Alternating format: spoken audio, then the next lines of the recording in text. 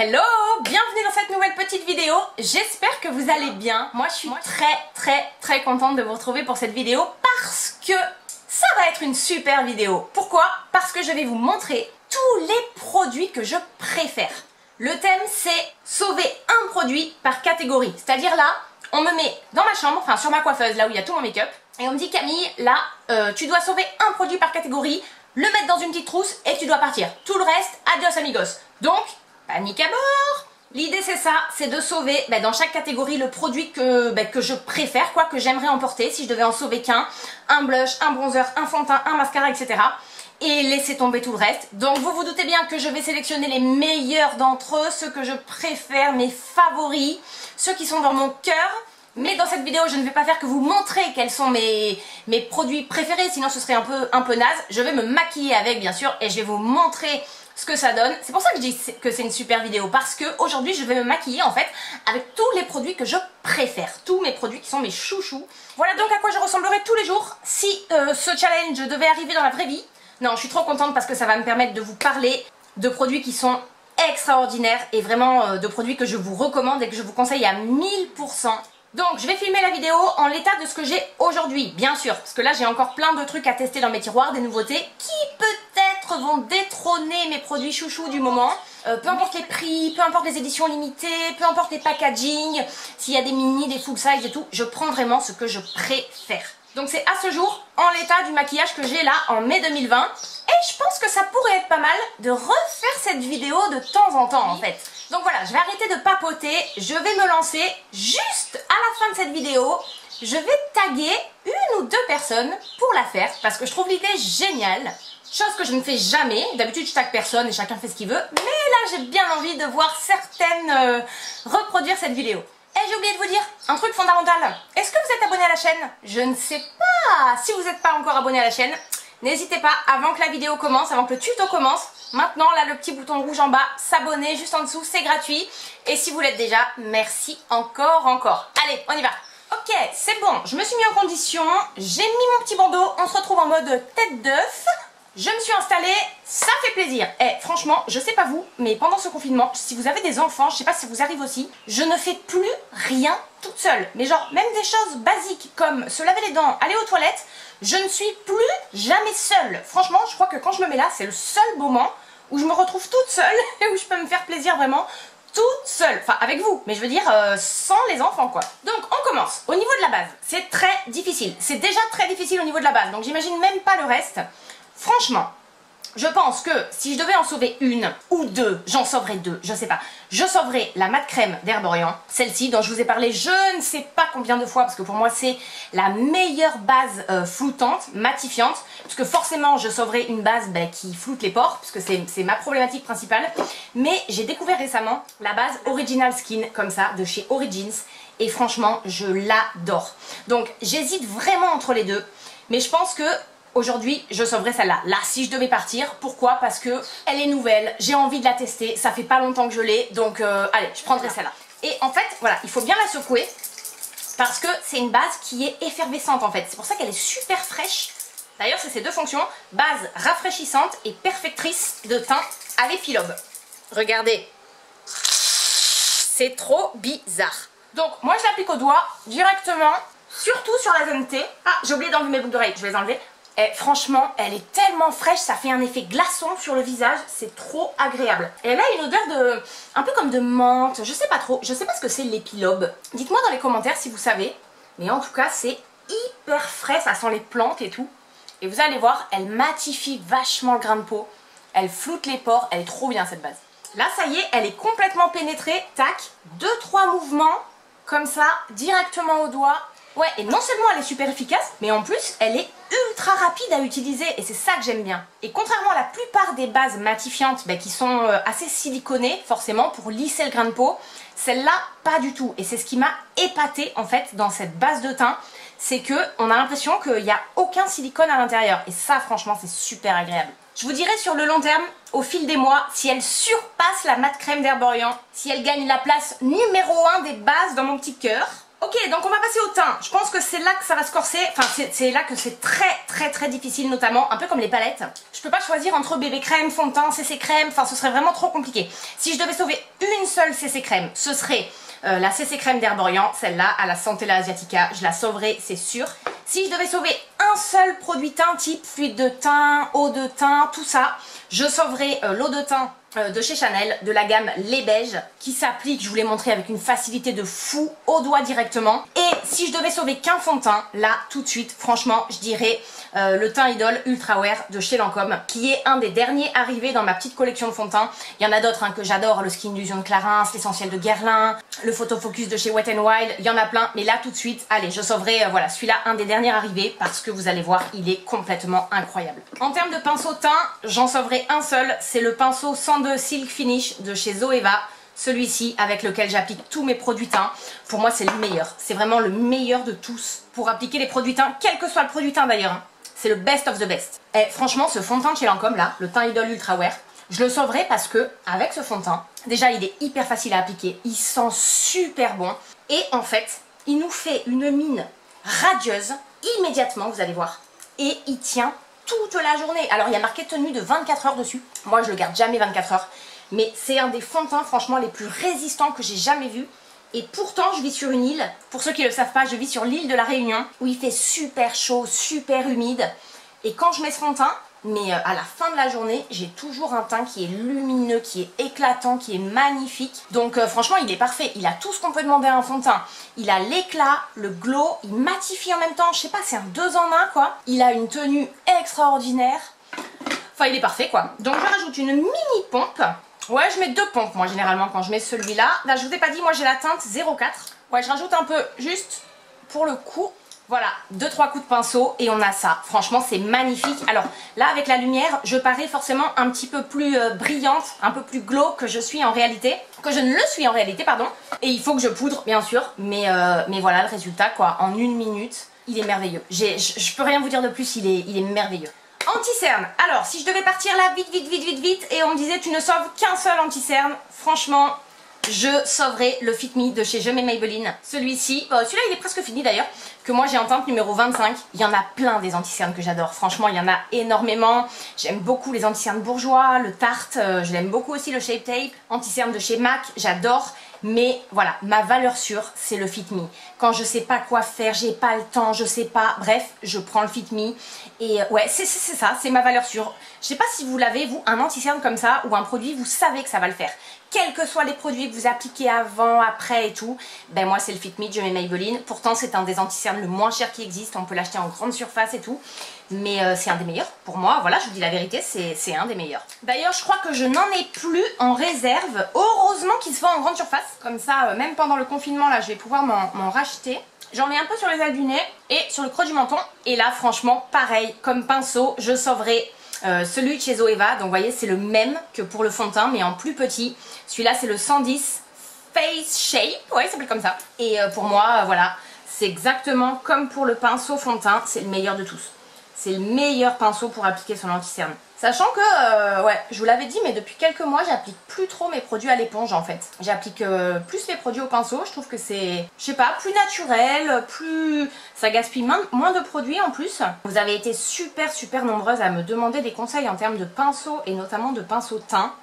Et je vous ai souvent répondu que pour moi, les meilleurs, bah, c'était ces deux-là. Je sais pas si, si je sauverais un beauty blender d'ailleurs. Si je devais sauver que quelques accessoires, Franchement, je prendrai ces deux pinceaux là, Zoeva, ça c'est sûr et certain. Je prendrai euh, le kit de pinceaux Sananas de la deuxième collaboration, c'est-à-dire ce pot là avec tous les pinceaux qu'il y a à l'intérieur. Parce que franchement, je vous dis la vérité, depuis que j'ai ces pinceaux, mais je les utilise tout le temps, tout le temps, tout le temps. Ils sont extraordinaires. Et d'ailleurs, je suis pas la seule hein, dans plein, plein, plein de vidéos YouTube que je regarde. Je vois les nanas qui les utilisent aussi sans forcément les citer et tout, mais je les reconnais. Je vois que ce sont les pinceaux de chez Sananas. Donc voilà, je sauverai ça en termes d'accessoires et je pense que je sauverai plutôt euh, ma houppette Makeup Forever plutôt qu'une éponge d'ailleurs. On va poudrer le tout. Alors là, c'est pareil. Pour la poudre, franchement, c'est super dur, mais je sauverai franchement une de mes dernières poudres arrivées c'est la poudre euh, Full HD, celle-ci de Make Up Forever que j'ai reçue dans le swap avec Olivia. Donc comme je vous l'ai dit en début de vidéo, hein, franchement peu importe les prix, les formats, les éditions limitées et tout ça, considérons qu'elle serait en format euh, voilà normal, je sauverai celle-ci. Mais franchement, j'ai été complètement euh, bluffée quoi, j'étais bluffée quand je l'ai testée. Déjà ça faisait très très très longtemps que je voulais l'essayer. Olivia me l'a envoyé dans le swap, j'étais euphorique. Ça fait des années que j'en entends parler comme étant euh, une des meilleures poudres, les plus lissantes, les plus matifiantes et tout. Et franchement, quand je l'ai testé, mais, c'est exactement ça, quoi. J'ai compris. N'hésitez pas à aller voir la vidéo, je vous l'accrocherai là-haut. Vous allez voir, tout de suite, elle lisse. J'ai jamais vu ça. J'ai jamais vu ça. Et pourtant, j'en ai testé des poudres. Hein. Et j'en ai qui sont super, là. La Huda Beauty, la Milk Makeup. J'en ai qui sont extraordinaires. Mais alors là, franchement, euh, j'ai jamais vu une poudre aussi lissante. Donc du coup j'utilise euh, tous les pinceaux Sananas, hein, tous ceux que je sauverai. Donc deuxième collab, je viens de poudrer cet œil là. Regardez la différence avec l'autre œil qui n'est pas poudré. Je, sais pas, je pense que là aussi les images, euh, encore une fois, elles parlent d'elles-mêmes quoi.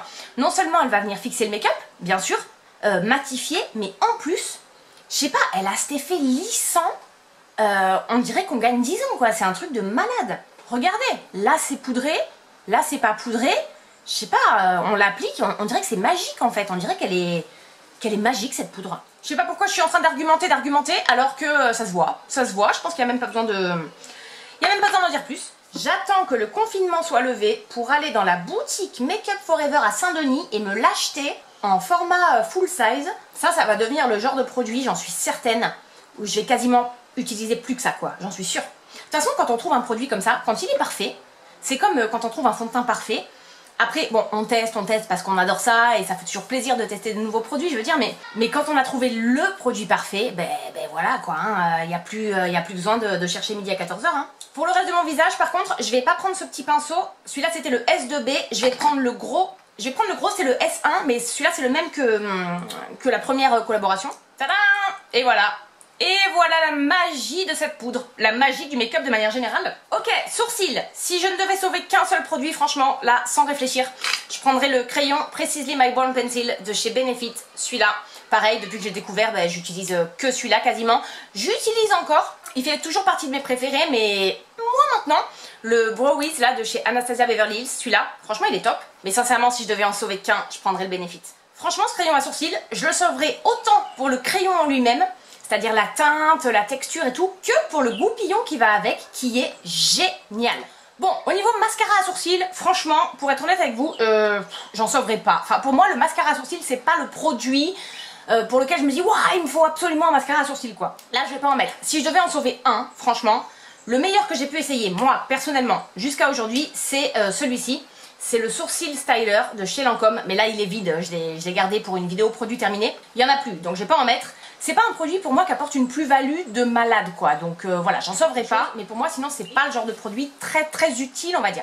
Avant de passer aux yeux, je vais finir le teint, poudre bronzante. J'ai hésité, j'ai beaucoup hésité entre deux poudres bronzantes. Euh, la Oula de chez Benefit, donc celle-ci, ça c'est le format mini, et la Glam Bronze de chez L'Oréal, qui est comme ça. J'adore les deux. Pour moi, c'est un peu les deux meilleures poudres bronzantes que j'ai. Mais j'avoue que j'ai quand même une petite préférence pour la Oula de chez Benefit. Là c'est pareil, je vous l'ai dit dans je sais pas combien de vidéos, pour moi c'est la meilleure. À ce jour en tout cas c'est la meilleure de toutes. Du coup je vais l'utiliser, par contre je vais pas prendre le format mini, je vais prendre celle qui est dans ma palette euh, Blush Boss de chez Benefit, elle est là. Toujours avec un pinceau de Sananas. Franchement cette poudre bronzante elle est, ouais, elle est parfaite quoi, elle a un marron un petit peu, euh, un petit peu chaud comme ça, elle, est, elle sublime le teint, elle réchauffe elle structure en même temps, elle est, elle est trop bien. D'ailleurs, dans mes, dans mes tiroirs là, j'ai la nouvelle Oula caramel que j'avais commandée sur le site euh, Cute Beauty. Je ne l'ai pas encore essayé, je le ferai avec vous. Oula, on me voit plus. je le ferai avec vous un de ces quatre en, en vidéo. Si je me maquille comme ça, vous n'allez pas voir grand chose. Hein Donc voilà, j'en mets bien, bien sûr là. Tac, je fais toujours le bas du visage. Pas forcément le front, parce que moi j'ai un petit front, mais quand même le, le bas du visage. Franchement, je trouve ça trop bien, ce genre de vidéo. J'avais trop trop hâte de la faire. Ben, non seulement parce que je me maquille avec les produits que je préfère, et en plus, ça me permet de, ben, vous parler des produits que je considère euh, à ce jour un peu comme les, ben ouais, comme les meilleurs sur le marché, quoi, les meilleurs produits dans chaque catégorie. Parce qu'on ne parle que des produits que j'adore et que je vous recommande. Et je pense que je vais faire pareil pour les soins. Je pense que je vais faire exactement la même chose, c'est-à-dire euh, si je ne devais sauver qu'un seul soin par catégorie, un seul gommage, un seul masque, euh, un seul sérum, une seule crème, c'est-à-dire vraiment les meilleurs soins pour moi à ce jour, pareil. euh, qui existent. Je pense que je vais le faire parce que euh, là pareil ça me permettra de vous parler des soins que je considère ben, comme les meilleurs, les plus efficaces pour la peau. Donc euh, dites-moi si ça vous tente, mais moi ça, me tente pas mal en tout cas. Moi j'en mets toujours un peu dans le cou de la poudre bronzante, je sais pas pourquoi, c'est un, une habitude. Ben voilà, hein, regardez avec la poudre bronzante, comme ça transforme le visage, ce que ça donne. Là pareil, ça se passe de commentaires quoi. On passe au blush. Alors le blush, c'est difficile parce que, pour être complètement honnête avec vous, j'ai pas encore trouvé à ce jour le blush parfait. Vraiment le blush où je me dis, waouh, si je devais en sauver qu'un, mais je prends celui-là, c'est sûr, sans hésitation. Je cherche encore, je teste. D'ailleurs, là encore, j'ai des produits à tester, des nouveaux produits dans mes, tiroirs. Je vais peut-être le trouver, croisons les doigts. En tout cas, à ce jour, j'ai hésité entre deux, pareil. Euh, un basique de chez Basique, euh, le, blush Orgasme de chez Nars. Celui-là qui est considéré comme un des, meilleurs blushs, quoi. Et un des tout derniers que j'ai, c'est euh, le joli blush de chez Clarins.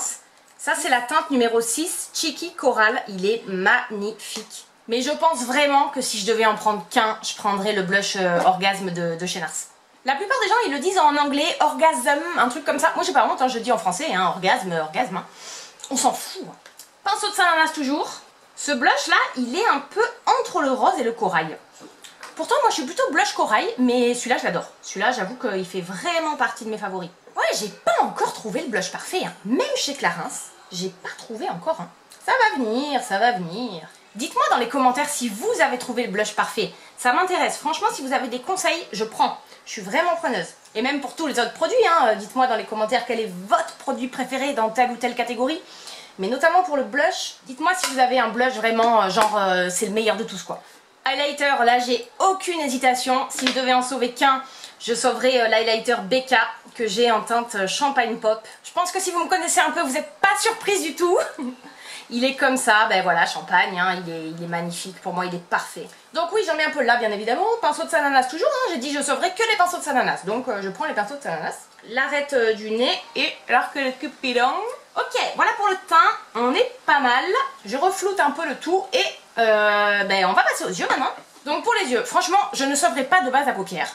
Je n'aime pas les bases à paupières. Là, c'est pareil. Si vous me connaissez, vous savez, j'aime pas les bases à paupières. J'en ai testé, j'en ai essayé. Il y en a certaines, ça passait, d'autres un peu moins et tout.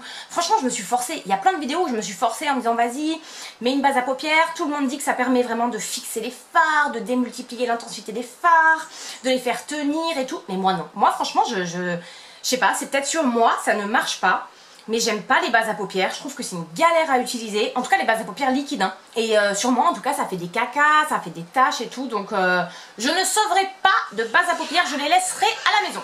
Fard à paupières justement, si je devais sauver une palette, euh, une palette, comment sauver une seule palette? Déjà, je vous ai fait une vidéo sur ma collection de palettes yeux, je vous la mettrai là-haut.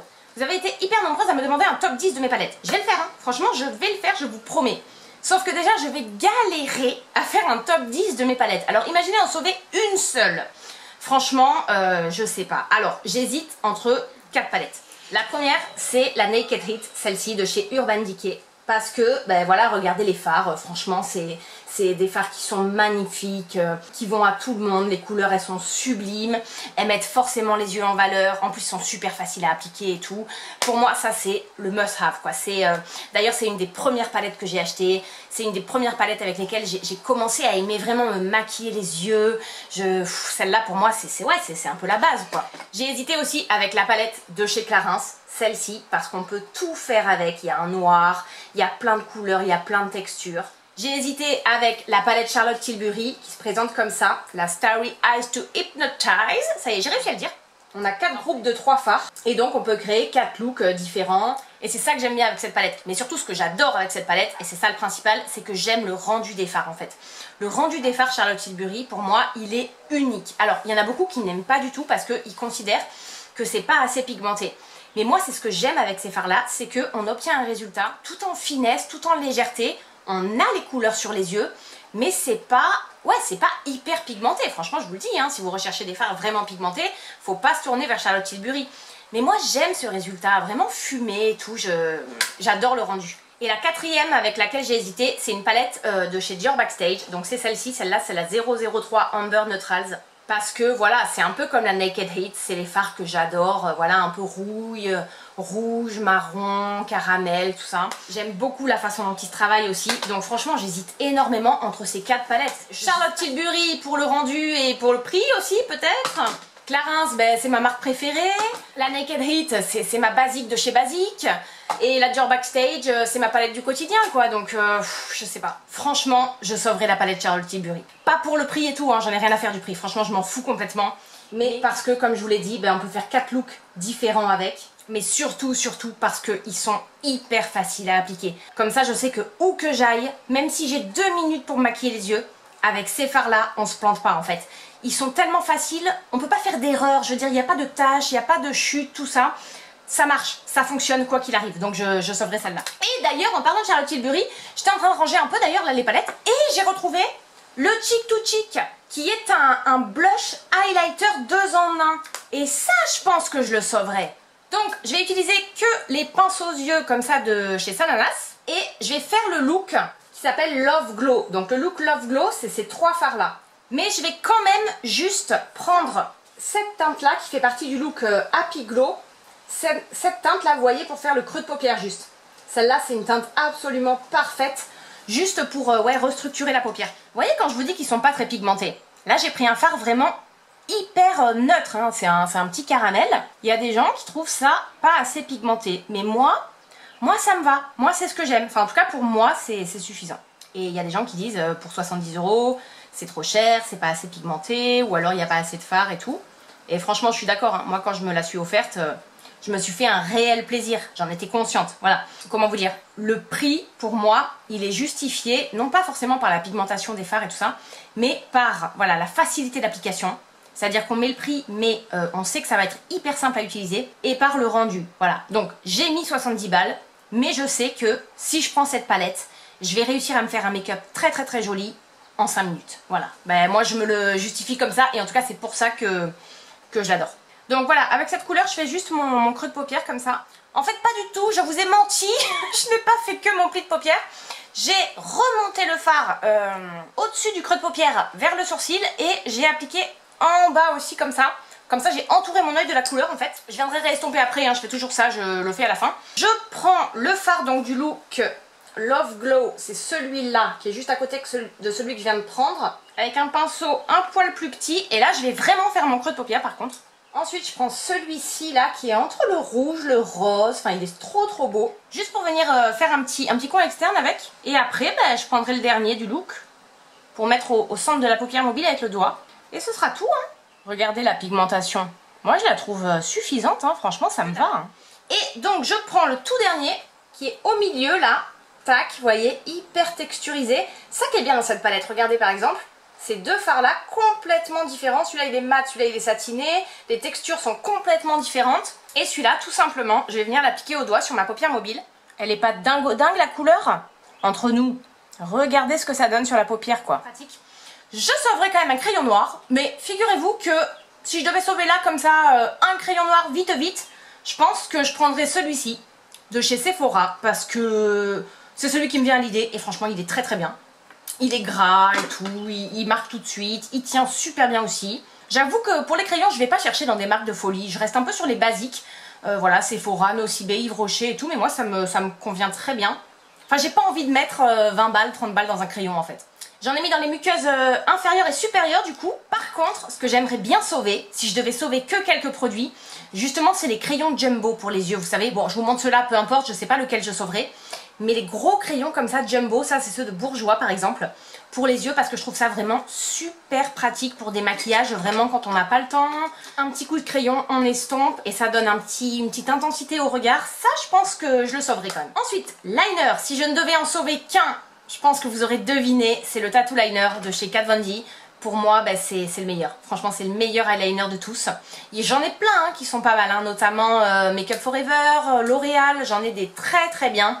Mais celui-là, pour moi, il, surpasse tous les autres parce que euh, la mine, elle est comme ça, très très fine. Il marque très bien, il sèche comme il faut, enfin, il, est parfait. Ensuite, mascara, parce que bien évidemment, vous vous en doutez, je ne sauverai pas de fossiles. je crois que rares sont les vidéos euh, sur ma chaîne dans lesquelles j'ai utilisé des fossiles. J'ai utilisé une fois des fossiles magnétiques que j'avais reçus par, euh, grâce à une marque gratuitement. une deuxième fois dans un challenge, mais sinon, j'avoue, je, n'en mets jamais des fossiles. J'en mets jamais, donc je vais pas les sauver des fossiles. Déjà qu'au quotidien, je n'en mets jamais. Et par contre, comme mascara, alors là, vous vous en doutez, mascara, ça a été super dur. Mais j'avoue que là, tout de suite, dans l'immédiat, celui que je sauverai, c'est un des derniers que j'ai reçu. Et pareil, je l'ai reçu dans le swap avec Olivia, comme la poudre libre Make Up Forever. C'est le mascara Dame Girl de chez Too Faced. Je pense que si j'avais pas reçu celui-là et que je l'avais pas découvert, le mascara que j'aurais sauvé, ça aurait été le Volume Révolution de chez Chanel, qui pour moi est un peu le best, quoi, le meilleur, un peu la base. Mais j'avoue que celui-là, il l'a surpassé. Ouais, il a surpassé Chanel. Je crois que ça c'est le mini, et là pareil, dès que le confinement sera levé, j'irai me l'acheter en grand format parce que c'est le mascara parfait, il apporte, vous allez voir, et volume et longueur. Franchement, je l'adore. Je crois que c'est vraiment celui que je sauverai là si je devais en prendre qu'un seul. Eh, on n'est pas sur un mascara de folie Franchement, j'en ai mis sur cet œil, pas sur celui-là. Pareil, les images parlent d'elles-mêmes là, franchement c'est dingue. J'ai terminé les yeux, voilà ce que ça donne donc avec tous mes produits préférés pour les yeux. Voilà mon petit make-up des yeux. Moi j'aime trop ce genre de make-up un peu fumé comme ça, j'adore. Et eh ben on va passer aux lèvres, donc crayon à lèvres. Si je ne devais en sauver qu'un seul, j'ai hésité, encore une fois, entre deux crayons. Non franchement j'ai hésité entre le crayon MAC, celui-ci, et le crayon Yves Rocher. Ce qui est sûr c'est que je prendrais un crayon nude, si je devais en avoir qu'un seul. Et franchement, ces deux-là, je, les adore. Je vous ai déjà conseillé plusieurs fois tous les crayons à lèvres de chez Yves Rocher qui sont comme ça, rétractables. Ils valent largement des crayons à lèvres de grandes marques qui coûtent trois fois leur prix. Et le MAC, donc celui-ci pareil, c'est un rétractable, c'est le Fresh Clay. C'est un peu le même genre de teinte, voilà, on est dans les nudes. Donc allez, je pense que si je devais en sauver qu'un, je prendrais le MAC. Mais franchement, celui d'Yves Rocher, il, le vaut quoi, c'est quasiment la même qualité. Et vous savez ce que je vais vous faire aussi comme vidéo? C'est une vidéo qui m'a été suggérée par l'une d'entre vous dans les commentaires euh, sous ma vidéo challenge dans laquelle je me maquillais dans l'ordre alphabétique. Top 10 des produits que j'emmènerais sur une île déserte. Genre, pire que la vidéo d'aujourd'hui, c'est pas je ne dois en sauver qu'un par, catégorie, c'est genre, tu pars sur une île déserte, tu as droit à 10 produits dans toute ta chambre, ta salle de bain. Tu ne dois en sauver que 10 Mon dieu, mon dieu là, là, ce serait vraiment les 10 the best of the best of the best of the best. Et je pense que ce serait plutôt des soins d'ailleurs et ça, je vais le faire un de ces quatre parce que je trouve ça génial aussi. Franchement, en cumulant nos idées, on peut faire du super contenu, je pense. Ok, voilà pour le crayon. Et ce que j'adore, je vous ai pas dit, avec ces crayons MAC et Yves Rocher, c'est que en plus, on peut les appliquer tout seul. Je veux dire, en guise de rouge à lèvres, ça fait déjà très très très joli. Et comme rouge à lèvres, justement, franchement, je crois que c'est un des trucs les plus compliqués, le rouge à lèvres, parce que je crois que c'est ce qu'on a le plus nous, les nanas, euh, en termes de make-up, je crois que les rouges à lèvres, ça fait partie des trucs qu'on a euh, fois euh, je sais pas combien. Mais là, franchement, j'ai regardé tous mes rouges à lèvres. Si je devais en sauver qu'un seul, je sais lequel ce serait. Déjà, ce serait un raisin, parce que je suis pas très très liquide mat, enfin je préfère les raisins. Et vraiment vraiment, ce serait un des rouges à lèvres récents que j'ai. Je l'ai découvert il y a quelques semaines, mais ce serait celui-là. Ce serait le rouge à lèvres de chez Lancôme. Celui-là, c'est la teinte numéro 290 Poème Mat regardez-moi déjà le bijou quoi. Donc il s'ouvre comme ça, on appuie ici, tac, le rouge à lèvres sort de ce côté. Pour le refermer, on n'a qu'à appuyer ici. Le packaging, je le trouve euh, absolument euh, magnifique et trop bien pensé.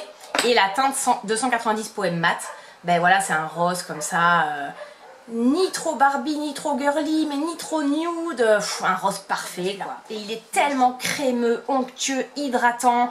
Sur les lèvres, c'est un bonheur, on dirait un baume à lèvres alors que c'est un vrai rouge à lèvres.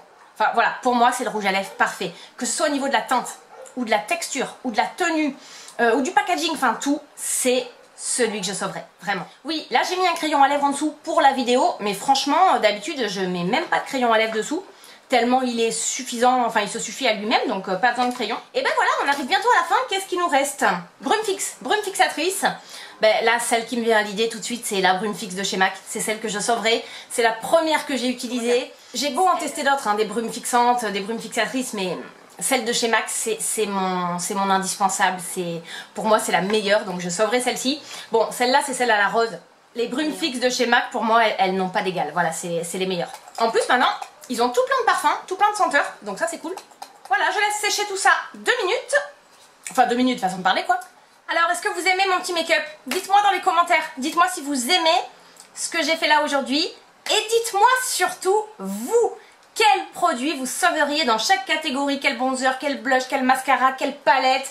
Quelle palette? J'aimerais bien savoir. En tout cas, j'espère que la vidéo vous a plu. Si ça vous a plu, n'oubliez pas de mettre un petit like. Et moi, je vais taguer quelqu'un pour une fois. Je le fais jamais, taguer des personnes pour refaire la vidéo. Mais là, franchement, je trouve l'idée tellement sympa, le fait de montrer tous les produits qu'on préfère, que j'ai envie de voir Karine le faire de la, de la chaîne Cream Miss Boo. Ouais, je l'ai bien dit. N'hésitez pas à aller voir sa chaîne d'ailleurs si vous la connaissez pas. Karine, j'aimerais bien que tu fasses ça. Et aussi Ella de la chaîne Ella Rayon de Soleil. Je sais que vous vous connaissez toutes les deux. J'aime beaucoup vos chaînes à toutes les deux. Et j'aimerais bien vous voir refaire cette vidéo. Voilà. Ça me ferait super plaisir et je suis sûre que vos abonnés adoreraient. Sur ce, moi je vais vous laisser là, je vous fais plein de gros bisous et je vous dis à très très très bientôt pour une prochaine vidéo. Bye bye